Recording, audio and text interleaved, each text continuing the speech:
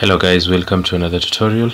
In this tutorial we are going to talk about Laravel Breeze and Laravel Breeze is one of the uh, starter kits that Laravel provides alongside Jetstream and also Laravel UI which can be able to do for us this uh, authentication scaffolding. So let us go ahead and look at how we can be able to use this uh, kit and in this case I would like us to install a fresh installation of Laravel so we can have Composer create project. Laravel. Laravel. Then maybe we can call this application breeze.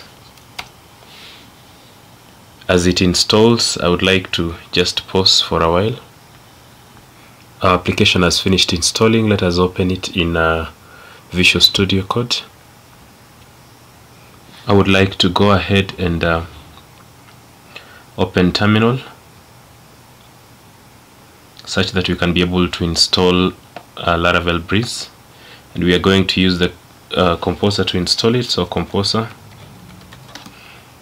require Laravel breeze and we can uh, tag the dev.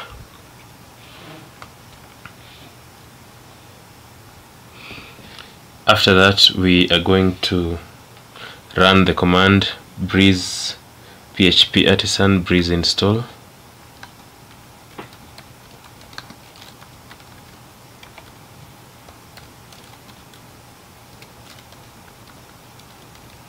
and this command is going to be able to generate for us a lot of uh, scaffolding for the views to routes to controllers and so on and so forth. So let us just go ahead and do it. In this case I would like us to use it in blade. So in this case I'm going to choose zero.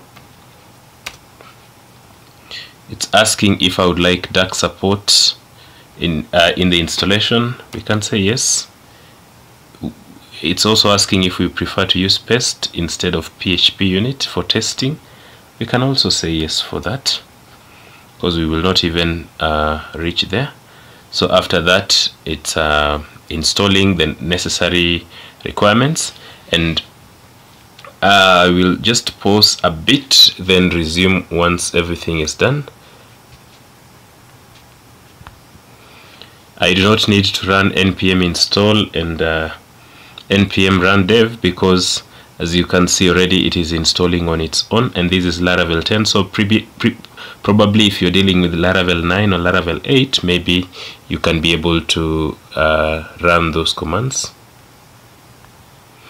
We can see what we're having is that the breeze scaffolding installed successfully and I would like us to just open and see what has happened. So I want us to go to resources. When we open resources views you can see there is a folder that has been added here which is called auth and we also have components and we have layouts.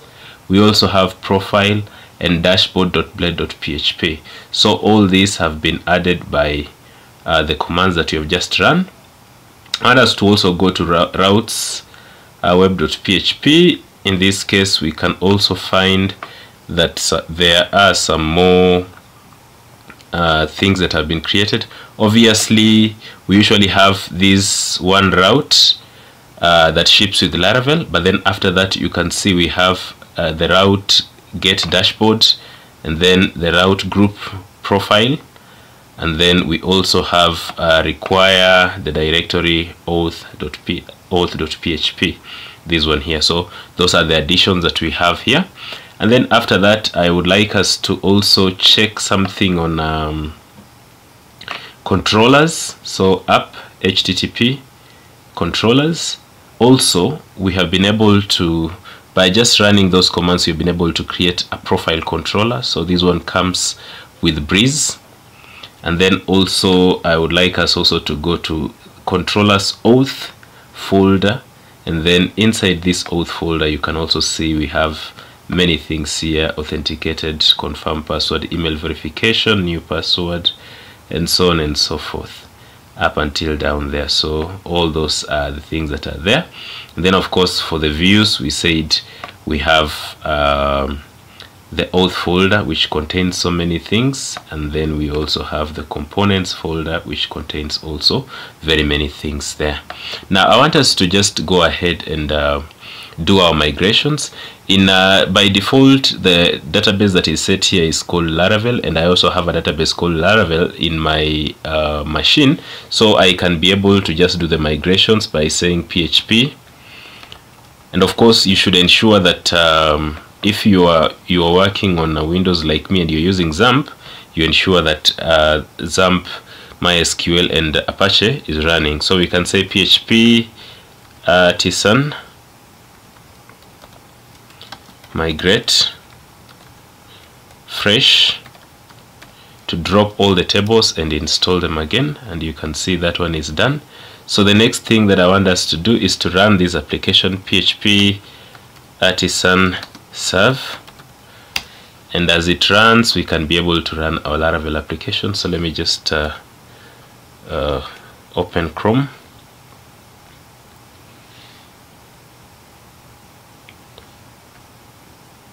so here we are going to visit localhost 8000 and as you can see we have our Laravel application. And then above here we have login and register which were not there in the initial installation of Laravel alone. They have been installed with the installation of Breeze. And since we do not have a user in this uh, um, database maybe we can be able to go and register. So we click on register. How you put my name here William